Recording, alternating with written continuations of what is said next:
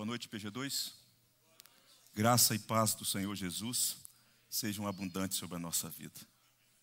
Que maravilha, que privilégio nós temos de retornar a essa casa de oração, lugar reservado para o culto, que é devido ao Senhor nosso Deus. Aqui nós dedicamos o nosso culto ao Senhor, os dons que Ele mesmo nos deu para o serviço de edificação dos santos da igreja.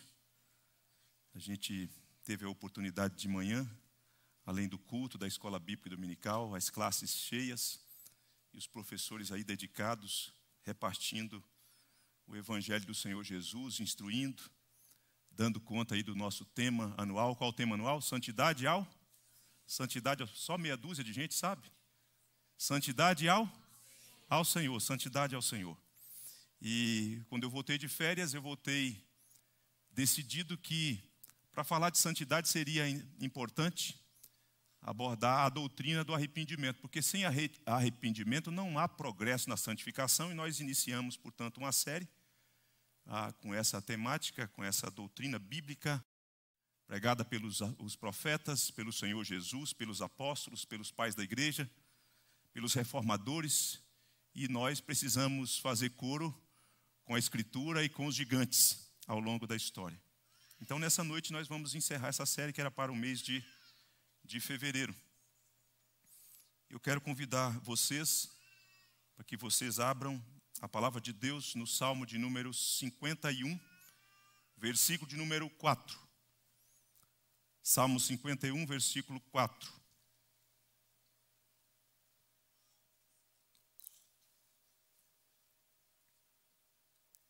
Assentado como vocês estão, com toda reverência e temor e diligência, eu lhes convido a que me acompanhem na leitura do versículo que diz assim: Pequei contra ti, contra ti somente, e fiz o que é mal perante os teus olhos, de maneira que serás tido por justo no teu falar e puro no teu julgar. A igreja pode lê-lo Desta vez, vamos lá. Pequei.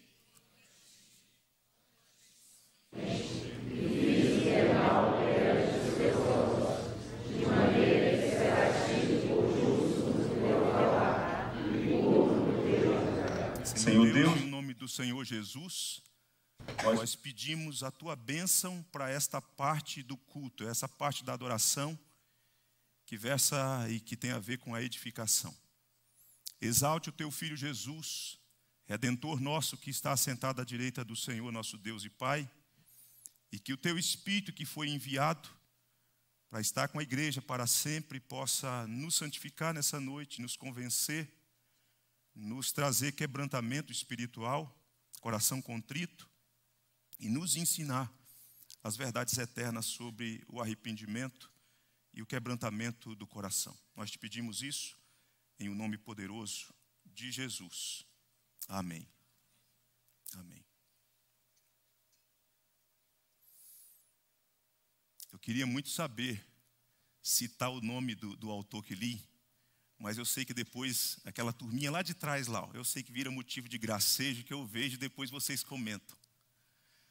E falando com um gaiato essa semana que teve na minha sala, ele falou: de repente, se eu pudesse dizer em português o que, é que significa Jairo Pontes. Mas talvez você não ajude em nada, né? Para aqueles que já leram, Carlos, que é antenado no inglês, né? já sabe de quem estou falando. Mas o nome do livro dele é Pecados Intocáveis. Aí sim, aí muita gente já atentou para o fato, né? Pecados Intocáveis. E ele escreveu em seu livro, dentre outros capítulos, um capítulo intitulado O Desaparecimento do Pecado. O desaparecimento do pecado. Só a leitura deste capítulo já valeria a pena a compra, a aquisição do livro. Não estou fazendo propaganda, não estou recebendo nada por isso. É porque coisa boa a gente recomenda. Tá certo?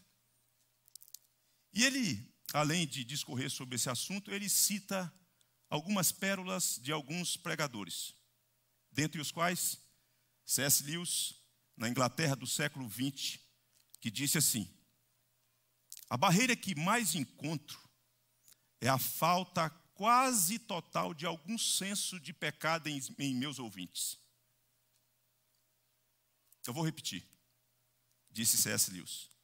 A barreira que mais encontro é a falta quase total de algum senso de pecado em meus ouvintes.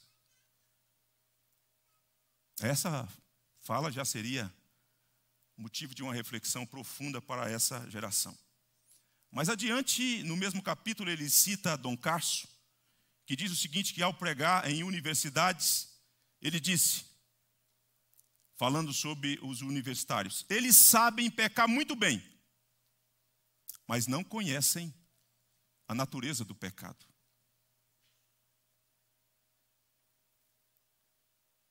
Recentemente, os nossos jovens foram para um acampamento, um retiro espiritual. E o tema era santidade.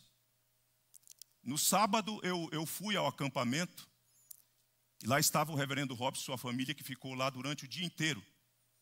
No domingo eu não poderia voltar, nós não poderíamos voltar porque nós tínhamos culto de manhã e também à noite. E minha esposa falou: "Vamos voltar na segunda". Eu disse: "OK". Só que a Diana fez tratamento de manhã e voltou muito cansado do tratamento. Nós resolvemos ficar à tarde com ela. E à tarde, acabou que nós arrefecemos o ânimo de ir para o acampamento. E minha esposa, isto no dia 12 de fevereiro, no final da tarde, minha esposa falou assim: Vamos lá no Conjunto Nacional para eu fazer um pagamento em uma loja lá. E aí nós pegamos o carro, eu, Patrícia, a Diana e o João, e fomos no Conjunto Nacional. Isso por volta de 17h40, 18 horas, não mais do que isso. E o que eu vi naquele lugar, no conjunto nacional e nas mediações do conjunto nacional, era um retrato colorido, ampliado, de uma sociedade depravada. Sociedade contemporânea está se sodomizando cada vez mais, numa velocidade, não tem freios, não tem freios. Foi um constrangimento tão grande para minha alma estar ali e transitar ali. Com meu filho menor, vendo toda aquela exposição. Não que eu seja inocente e ingênuo de achar que, que ele não vai deparar com isso, e nós não somos ingênuos, nossos filhos, nós vivemos num mundo caído doente. E minha esposa fez o que tinha que fazer, e nós pensávamos, depois desse compromisso dela, nós nós iríamos na praça de alimentação para lanchar, mas quando chegamos lá, piorou. Aí a coisa ficou feia, ficou difícil. Eu não vou contar aqui, vou poupar você das coisas, dos detalhes, das imagens que eu deparei. O certo é que minha esposa, vendo aquilo também, ela falou: Amor, vamos lanchar lá no, no shopping, lá perto do Guará, vamos, vamos para lá. Aí eu, nós saímos e nós viemos para cá. Pense, Pense que como nós seríamos ridicularizados se nós chegássemos para aquela turma, para aquelas pessoas que ali estavam, e se nós chamássemos aquelas pessoas, convocássemos aquelas pessoas ao arrependimento. Pense no gracejo, na zombaria. Porque o estilo de vida, o modo como elas vivem, tem a ver com esse banimento da noção de pecado. Tem a ver com isso. E sabe por que nós seríamos achincoalhados, zombados, escarnecidos? Porque a noção de pecado tem desaparecido da sociedade contemporânea. A legalização do aborto, a corrupção na política, a violência, o narcotráfico, a infidelidade conjugal, a prostituição desenfreada, o sexo antes do casamento, a fornicação, apenas para citar alguns dos pecados que hoje não chocam mais a sociedade contemporânea. A sociedade, irmãos, a sociedade ocidental acreditava numa ordem sagrada. Essa fala não é minha, ela é de Tim Keller, no seu livro Conquistando o Ocidente para Cristo. E ele diz o seguinte: todos, todos compartilhavam desse conjunto de crenças sobre uma ordem sagrada. Qual é o conjunto de crenças? Ele sintetizou em três: que há um Deus, uma vida após a morte e um padrão de verdade moral e a noção de pecado. As pessoas acreditavam, isso facilitava inclusive o trabalho da igreja na evangelização, porque uma vez que tinha o pressuposto de uma moralidade, a gente pegava o gancho e aquilo era um ponto de contato para a gente tabular uma conversa, e uma vez que existia esses resquícios do cristianismo histórico, a gente então desenvolvia e apresentava o Senhor Jesus para essas pessoas. Tim Keller avança e diz assim: porém, a cultura de hoje acredita que precisamos ser salvos da ideia de que precisamos de salvação. Precisamos ser salvos da ideia de que precisamos de salvação. Agora, nós estamos apresentando um retrato da sociedade contemporânea, também classificada pelos teóricos de pós-cristã, mas de uma sociedade alienada de Deus. Mas e o drama contemporâneo eclesiástico? Precisamos dar uma olhada, uma espiada, como é que, que a gente lida com isso. O pior, porém, o pior, porém, é que o conceito de pecado também tem desaparecido da consciência da membresia da igreja. E nós não podemos ser hipócritas e dizer que não é verdade. A consciência sobre o pecado também tem desaparecido da nossa, tem parece que experimentado um apagão, um apagão. Quando não se trata do desaparecimento, vem o abrandamento na pregação para não ferir a consciência moderna. Não vamos remover tudo, mas nós precisamos abrandar. Nós precisamos suavizar a comunicação no que diz respeito ao pecado para não ferir a consciência moderna. Isso é muito chocante. E talvez aquela pessoa que eu convidei para vir para a igreja, pastor, ouvindo uma mensagem muito dura, ele, ele, não, ele não vai querer ficar, porque afinal de contas, o, o senhor, os pregadores, os presbíteros, o senhor convidou o Carlos, o senhor viu que o Carlos achincalhou o cara, o senhor viu que o pastor Robson veio e na semana seguinte seguiu a mesma toada, convidou o Heitor e convidou não sei quem, e foi para a escola dominical. Não dá, não dá desse jeito, tem que suavizar. Tem que suavizar. Não dá, só que não dá. Nós estamos experimentando e passando por uma reclassificação e abrandamento do conceito de pecado. O adultério passou a ser chamado de caso. Fulano teve um caso, você ficou sabendo? Enquanto que a Bíblia classifica como como é que a Bíblia chama? Adultério. Fala alto para alguém que está do seu lado escutar. Os casados precisam ouvir. Infidelidade conjugal é adultério.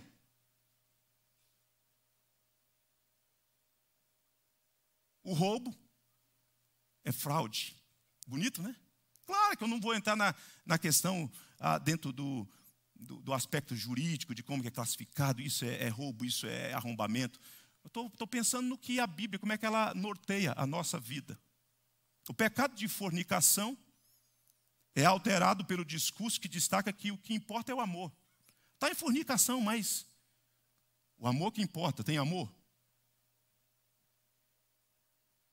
Politicamente correto é falar hoje que tudo é válido. Tudo é válido. Nenhuma censura. Você é dono da sua consciência, do seu coração, da sua vontade, da sua vida. Então tudo é válido. Todas as formas de amor são importantes. Não é verdade? Não é isso que a gente escuta? Não é isso que os nossos filhos escutam? Outros conceitos são inseridos para abrandar o conceito de pecado. Agora pensa só como resultado disso que vai acontecendo, que vai florescendo, permeando a sociedade. Como? Como desfrutar, como experimentar um verdadeiro arrependimento? Se o conceito é banido, se o conceito é abrandado, se Deus usa a palavra para, para escancarar a podridão do nosso coração, a vida porca que estamos levando, a lama que está grudada nas nossas vestes, não há verdadeiro arrependimento se o conceito é removido, se não tem consciência de pecado. se é abrandado para suavizar, para não tocar na consciência do homem pós-moderno, do menino que está na UNB, não pode dizer isso para ele, isso é muito duro. É, é, é, sujeito até, pastor, que ele experimente um quadro de depressão com esse tipo de força, de mensagem dura, que, que, que catuca a consciência do menino. Não, tem que, tem que afagar um pouco o ego dele. Meus irmãos, para experimentar verdadeiro arrependimento, é necessário que seja ensinado sobre a natureza daquele que é ofendido.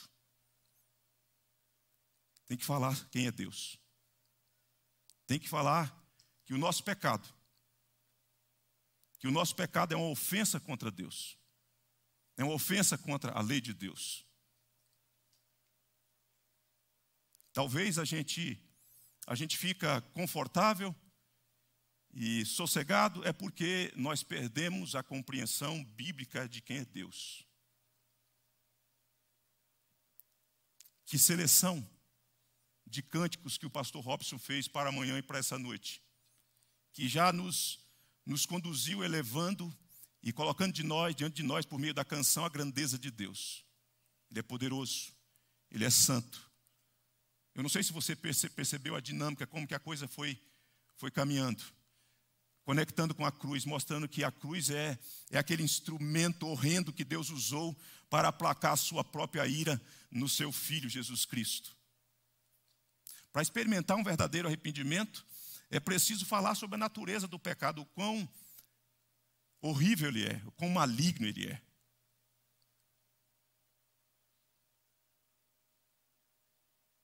É necessário falar da, da consequência do pecado, só assim é possível experimentar arrependimento genuíno, sincero, verdadeiro, para que o nosso coração se quede diante de Deus e a gente experimente uma transformação genuína, profunda em nosso coração. O arrependimento sincero. Como é que o arrependimento sincero se processa? Como é que o arrependimento sincero acontece? Em primeiro lugar, o arrependimento sincero, ele começa quando compreendo o que eu fiz. Eu preciso compreender o que eu fiz. E esse texto, ele é maravilhoso. Eu, enquanto me preparava durante a semana, pensei, eu acho que eu vou fazer uma exposição do Salmo inteiro, mas depois falei aqui, aqui é uma conferência para o ano inteiro do Salmo 51.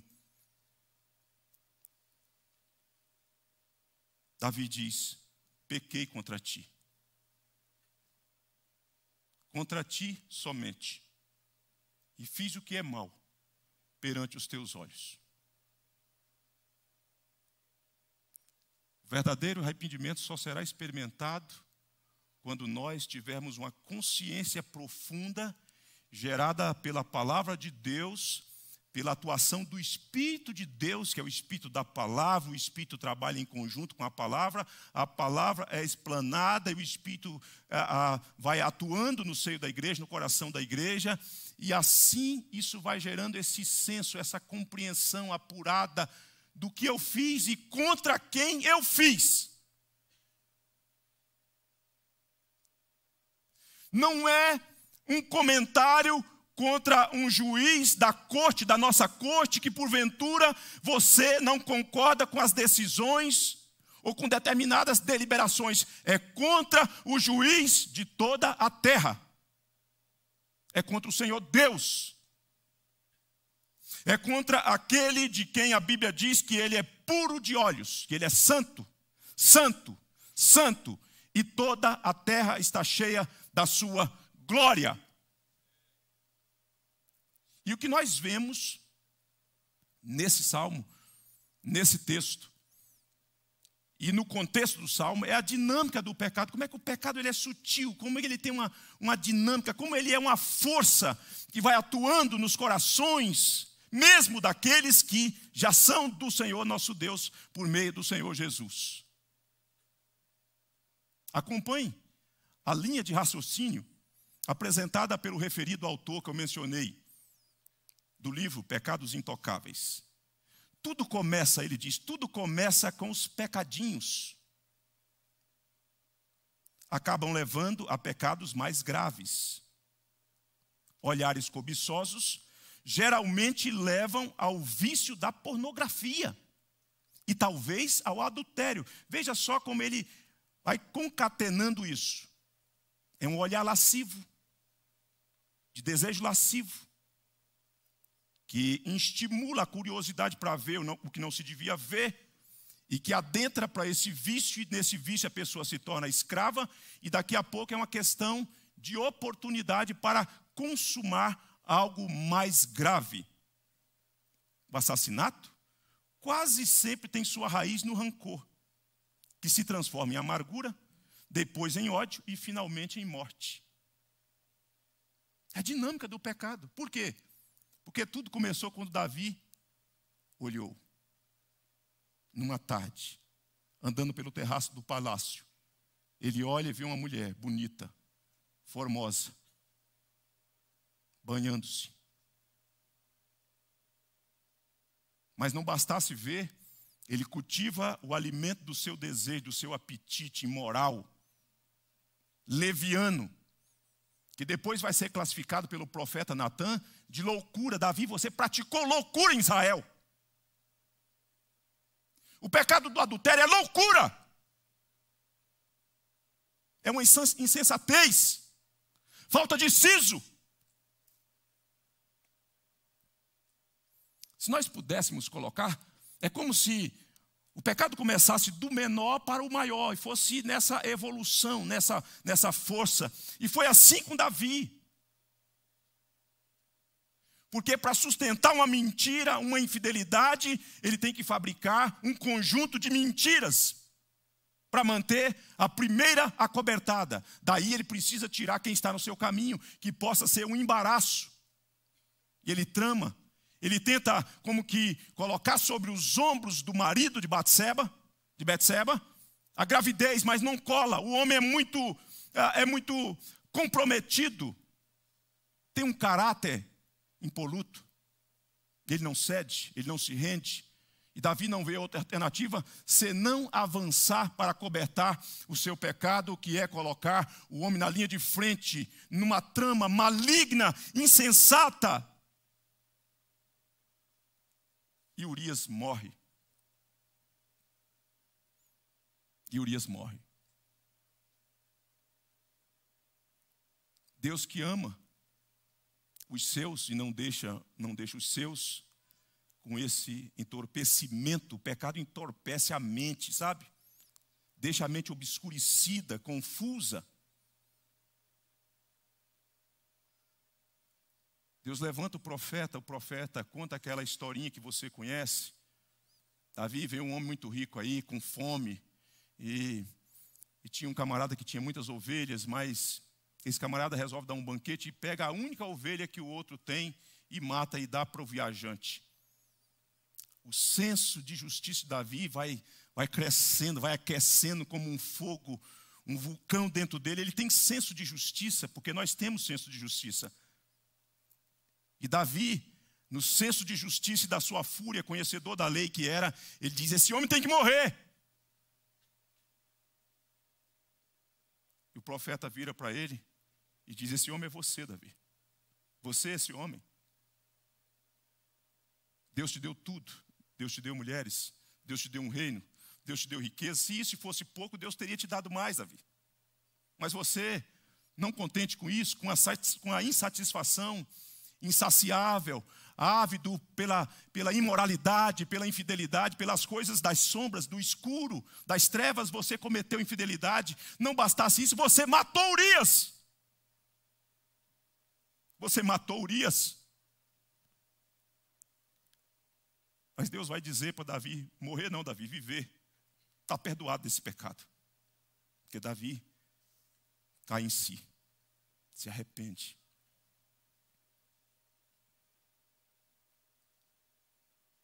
Arrependimento passa pela pregação profética. Eu não posso aliviar para você, você não pode aliviar para mim.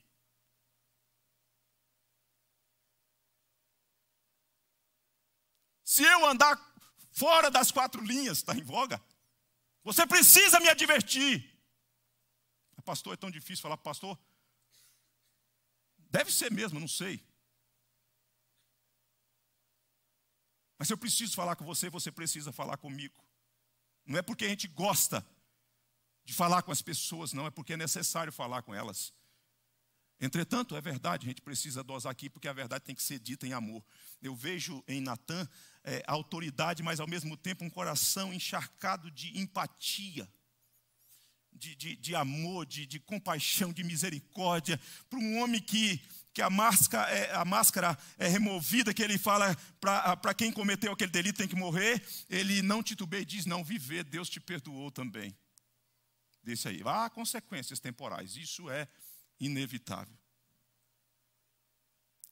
A mente de Davi, que estava entorpecida, entra uma fagulha de luz na mente dele, vai vasculhando a mente dele, vai dissipando as trevas da mente dele, do coração dele, vai vasculhando o seu coração, aquele labirinto podre, fedorento, e a palavra vai abrindo, vai esmagando Davi, e o Espírito vai operando nele, Davi, então com isso ele fica horrorizado com o seu próprio pecado, ele fica horrorizado com o seu pecado. Porque o homem de Deus foi dizer para ele, foi falar com ele.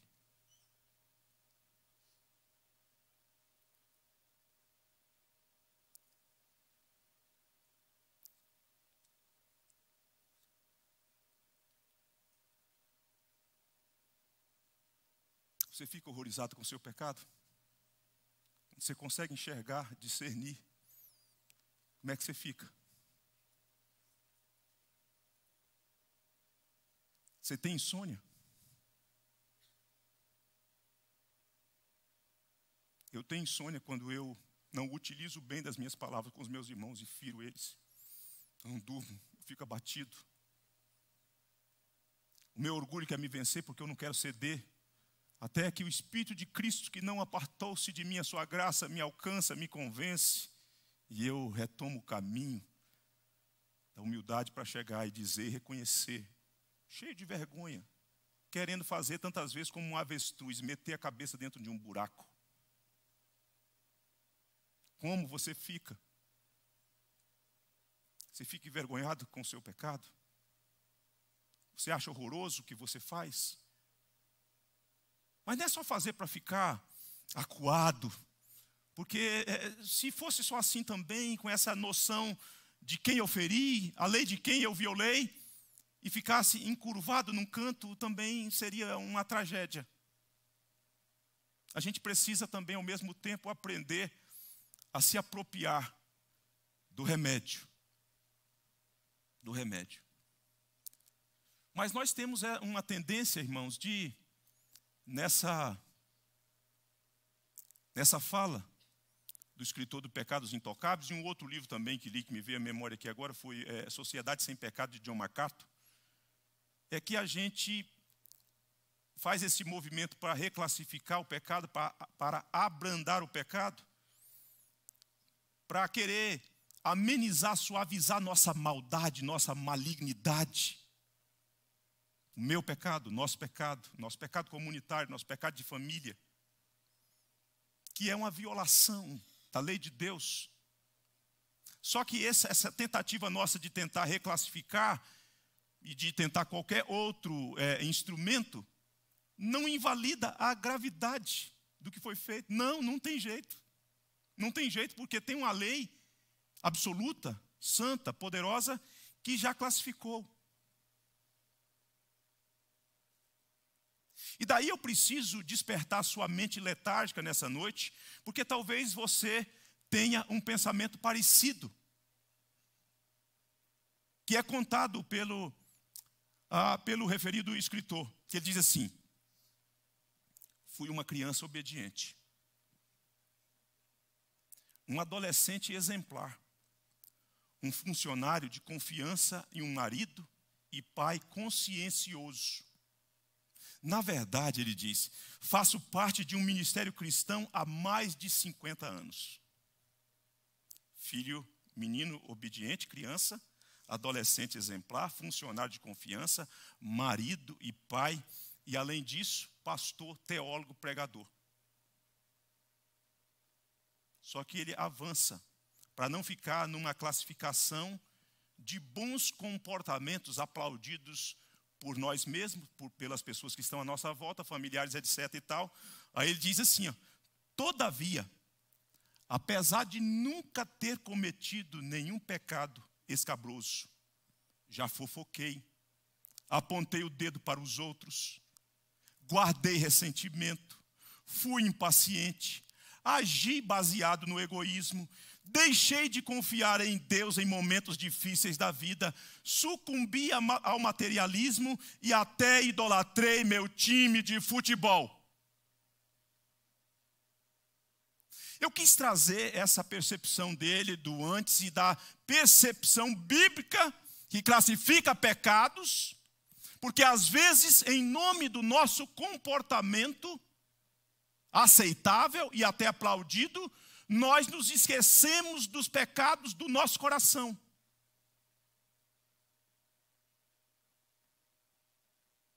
Por quê? Porque talvez você, olhando para a história de Davi, fala, pastor, mas com razão, Davi tinha que sentir-se a si mesmo, porque afinal de contas, ele fez uma coisa horrorosa. Ele planejou o assassinato de um homem inocente. E diante de uma trama dessa, pastor, aí não dá, mas eu não estou, estou muito longe. Mas você já fofocou. Você fala das pessoas, às vezes até nos corredores da igreja. Você, às vezes, tenta usar dos recursos para sonegar os impostos quando chega o momento de declarar os impostos, porque afinal o leão, né? Ele é grande, tem uma juba grande, um bocão de todo tamanho, a gente fica furioso, né? Com o jeito que ele faz, mas não tem jeito, você é crente. Você não pode andar no joguinho da sociedade contemporânea.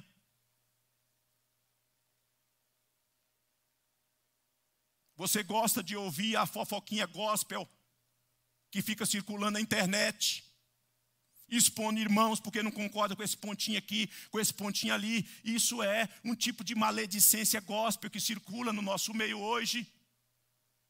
E a gente pensa que está prestando um grande serviço ao reino de Deus, mas não, você só está inflando o seu ego, o seu ídolo, é as discussões teológicas. Ou você pensa que isso é diferente? É diferente do ponto de vista de consequência. Deveríamos chegar como Davi e dizer: pequei contra ti, contra ti somente, e fiz o que é mal perante os teus olhos, de maneira que serás tido por justo no teu falar e puro no teu julgar. Arrependimento sincero passa pela compreensão do que eu fiz e contra quem eu fiz. Davi fica horrorizado, portanto. E você fica horrorizado? Como é que você fica? Ou o conceito tem sido banido também, você está com a consciência, na linguagem do apóstolo Paulo, cauterizada, insensível, que não sente mais o catucão de Deus para o seu próprio bem.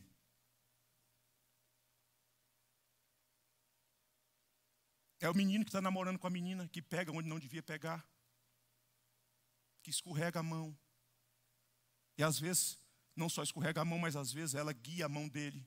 Isso é pecado, meu irmão. Você está pecando contra Deus.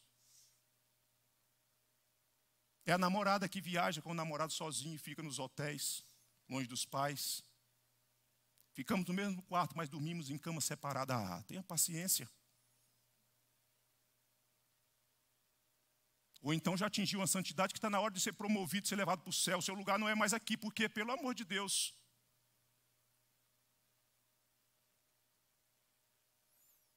O arrependimento sincero, como ele se processa, em segundo lugar, ele avança quando eu compreendo contra quem eu fiz e o que fiz.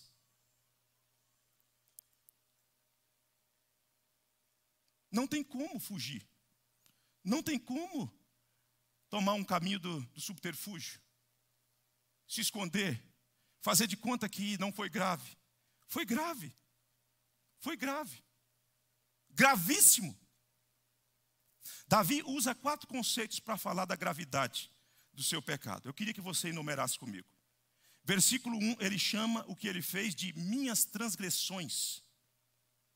Minhas transgressões. Na Bíblia, a palavra transgressão tem o sentido verdadeiro de verdadeiro, é, é, verdadeiro rebeldia contra a autoridade, nesse caso, a autoridade de Deus. Davi foi obstinado, foi ele, ele empreendeu uma oposição deliberada contra o Senhor. Ele atentou contra a autoridade de Deus, isso é transgressão. Quando você sabe que não tem que fazer, que não pode fazer, e você mesmo assim faz o que não se pode fazer, é transgressão. É você dando de ombros para a autoridade de quem Deus é, a autoridade máxima acima da nossa cabeça. O segundo conceito que ele usa é o conceito de iniquidade. Versículo de número 2: lava-me completamente da minha iniquidade. Iniquidade traz a ideia de tortuosidade ou distorção, aquilo que destrói tudo. Destrói a sua própria vida e destrói as pessoas que estão à sua volta. Davi prejudicou grandemente, gravemente Israel, a família de Davi. Todo mundo ficou sabendo da iniquidade praticada. Foi uma destruição geral. Terceiro conceito: pecado. Versículo 2, versículo 3, versículo 9. Pecado. O pecado é uma demonstração de fracasso, de falta de retidão, de que uma, de uma pessoa que não conseguiu viver para a glória de Deus, porque deu atenção à voz do seu coração, destaca, portanto, a violação da lei de Deus. Isso é pecado. E no versículo de número 4 que nós lemos, mal, transgressão, iniquidade, pecado e mal. O que Davi viu, então, viu no sentido de ver o seu coração e a sua condição, ele viu porque foi alcançado pela palavra de Deus. Deus foi atrás dele. Já tinha passado mais ou menos cerca de um ano que Davi, de um ano que Davi estava vivendo como se nada tivesse acontecido, despachando lá do, do, do seu palácio, convivendo com as pessoas. A essa altura já tinha trazido a dona para casa com a barriga grande, ela já tinha, ela deu à luz, e entretanto Davi está achando que está tudo em paz, anestesiado. Até que Deus, por amor e misericórdia, sapeca a consciência dele. Davi viu sua transgressão, Davi viu sua iniquidade, Davi viu seu pecado, Davi viu a sua maldade, porque Deus o confrontou para o seu próprio bem. Deus fez o que fez para o próprio bem de Davi. Irmãos, que preciosidade é quando Deus não nos deixa à mercê da nossa própria sorte. Quando Deus nos confronta e nos alcança pela Sua palavra, nos convence pelo Seu Espírito, então nós passamos a entender a verdadeira natureza do pecado e a glória de Deus. Você compreende a glória de Deus, começa a compreender a nocividade do pecado. Quando isso acontece, sabe o que, que resulta na sua, na sua prática, na sua oração de, de contrição, de um coração que foi esmagado pela palavra de Deus? Você começa a usar a primeira pessoa do singular, falando de minhas transgressões, minha iniquidade, meu pecado, meu mal, é minha culpa, foi eu que fiz isso. O que, que acontece?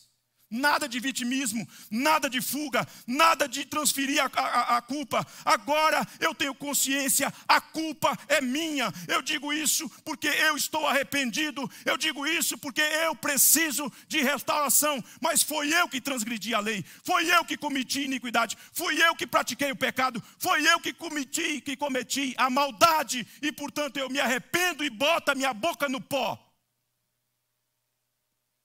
Mas se o coração não é esmagado pela palavra, se a consciência não é ativada pela pregação, a gente fica adormecido, tocando a vida, mas uma vida sem o ser inflamado pelo Espírito de Deus, sem fervor.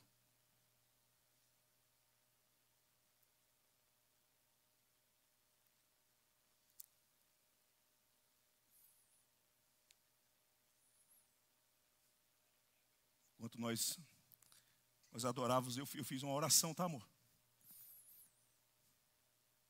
E INSS está pago. Falei, Deus, se o Senhor me levar hoje, está tá bom demais. Está bom demais se o Senhor me levar hoje. Estou falando isso para te emocionar, não, entendeu? Eu não sou uma pessoa boazinha, não, não se iluda. Eu não sou um homem bonzinho.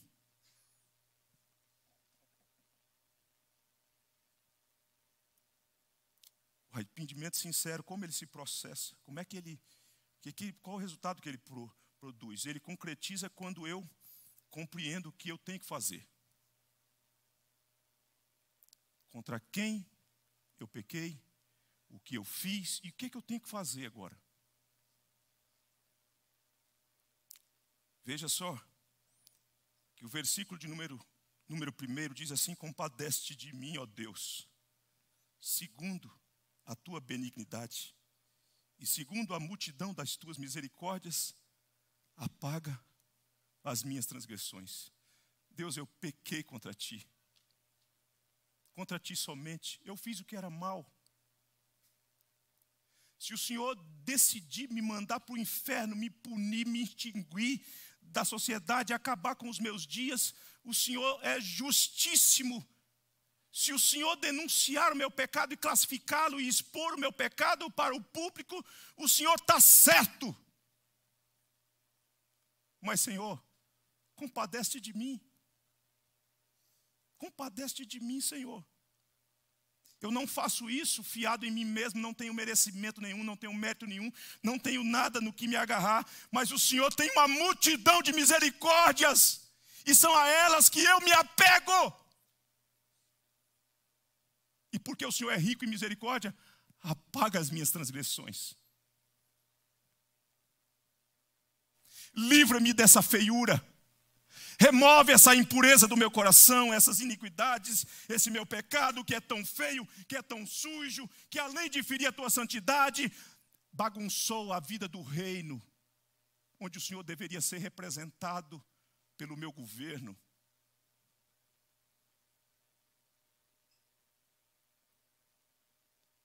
É uma ação no presente. Eu fiz contra uma pessoa, pequei contra ela eu fiz o que era mal, mas agora no presente eu preciso de arrependimento, de um coração quebrantado, de um coração arrependido para experimentar o benefício do arrependimento que tem a ver com a quitação da minha dívida. A cura.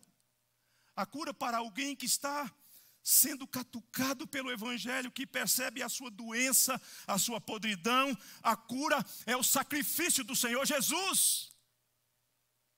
É o sacrifício do Senhor Jesus e a postura de alguém que vai experimentar o que o Senhor Jesus fez é para experimentar uma restauração, um alívio da alma, do coração, é a confissão. É preciso abrir os lábios, é preciso curvar-se diante de Deus e às vezes com poucas palavras, por não conseguir concatenar todas elas, dizer: apaga as minhas transgressões, Senhor.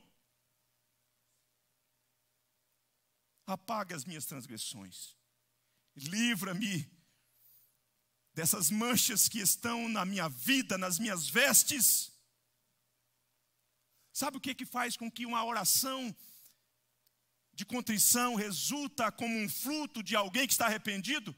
É porque a palavra esmagou o coração, tocou onde devia tocar. Para o nosso próprio bem. Para o nosso próprio bem.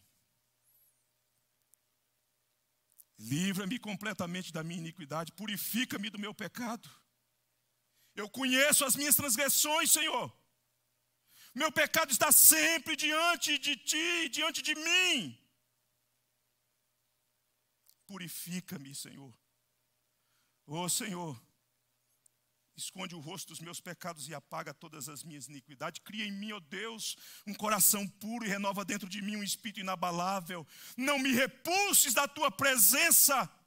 nem retires de mim o teu Santo Espírito. Restitui-me, Senhor, a alegria da tua salvação e sustenta-me com o espírito voluntário. Então ensinarei aos transgressores os teus caminhos e os pecadores se converterão a ti. Renova-me, Senhor. Renova-me, Senhor. Arrependimento sincero.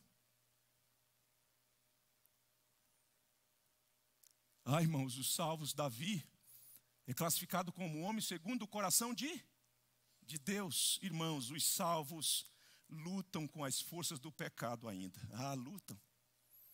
Lutam. A batalha é renhida, é constante. A gente não pode baixar a guarda, não. A gente precisa de gente, de pessoas santas, piedosas para caminhar com a gente, para constranger a gente. Tem gente que tem uma vida né, assim que constrange a gente, não tem não? Você não fica, não, tem hora que eu me assento perto de algumas pessoas crentes, eu fico constrangido. Com a piedade, com a vida de temor. Porque eu estou lutando com os meus pecados. John Newton, cuja biografia diz que foi traficante de escravo, capitão de um navio negreiro, que levava os africanos para serem vendidos como mercadorias, mercadoria nos Estados Unidos. Perto de morrer, Newton disse a um amigo, abre aspas, minha memória praticamente se foi. Entretanto, me lembro de duas coisas: que sou um grande pecador e que Cristo é um grande Salvador. A idade vai chegando e a memória vai, não é? Newton está dizendo tem duas coisas que não foram apagadas. Uma é, eu sou um grande pecador. Mas em compensação, o meu redentor também é grande. O apóstolo Paulo também faz um relato um pouco da sua biografia, escrevendo as suas cartas aqui e ali. E em uma delas, na carta de Paulo a Timóteo, ele diz assim: Eu era blasfemo, perseguidor, insolente, mas obtive misericórdia. E disse mais: Transbordou, porém, a graça de nosso Senhor Jesus Cristo com a fé e o amor que há em Cristo Jesus. Fiel é a palavra e digna de toda aceitação que Cristo Jesus veio ao mundo para salvar os pecadores, dos quais eu sou o principal. O rei Davi entendeu isso, antes de Paulo e de Newton. Ele entendeu que tinha cometido um pecado gravíssimo e o seu pecado era abominável, ele sabia que ele tinha cometido muitas transgressões, todavia ele recorreu arrependido ao trono da graça de Deus, porque ele sabia que havia uma solução para a sua situação, e a solução de Deus era maior do que o seu pecado. Se eram muitas transgressões, também é multidão de misericórdia. Se é o pecado que mancha, Deus também tem um remédio para apagar tudo. Por isso ele suplicou: Compadece de mim, ó Deus. Segundo a tua benignidade, segundo a multidão das tuas misericórdias, apaga as minhas transgressões. Eu concordo com Jerry que diz o seguinte: quando percebemos como a notícia é ruim, má, nós teremos mais capacidade de entender como a notícia boa é melhor. A igreja, a igreja do Guará 2, IPG 2, família IPG 2. Nosso pecado é horroroso. Nosso pecado pessoal, nosso pecado familiar, nosso pecado comunitário, nosso pecado é horroroso. Nosso pecado é uma ofensa maligna contra o Deus que já se revelou a nós. Todavia, a solução para nós. Ah, tem solução. A cura para o nosso pecado é o Evangelho. É Jesus que se entregou por nós, que morreu a nossa morte, que levou as nossas culpas, que experimentou o castigo que nos traz a paz, que experimentou o desamparo de Deus o Pai, a solução é Jesus. Se o teu pecado é grande, saiba que a graça é maior do que o teu pecado. Se você entendeu que você é um grande pecador, saiba que o Salvador, o Senhor Jesus, ele é maior do que você. Você é um grande pecador, mas ele é maior, ele é mais poderoso. Se a confissão do seu pecado exige uma grande humilhação, é humilhante ter que confessar. Saiba que a restauração é maior do que a sua humilhação. Se a tristeza é grande por causa do seu pecado, saiba que a alegria da salvação também é maior do que a sua tristeza. A notícia de um diagnóstico de câncer é devastadora, porém a notícia de cura também traz júbilo e celebração. Deus nos cura nessa noite. Deus restaura os arrependidos.